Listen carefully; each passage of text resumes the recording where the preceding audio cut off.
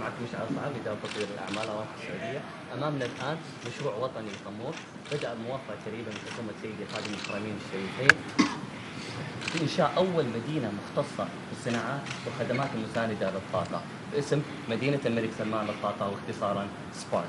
تقع المدينة بالقرب من منطقة بليك على مساحة إجمالية قدرها 50 كيلومتر مربع تمثل المرحلة الأولى منها 13 كيلومتر مربع ويتم الانتهاء منها بحول الله في حلول 2021 ستكون بمشيئة الله. تشرح لي ترى أبو عبد ناشف في قلوبنا إلى ما طلع ميزانيات ف- ف- كل- التفاصيل معروفة. بس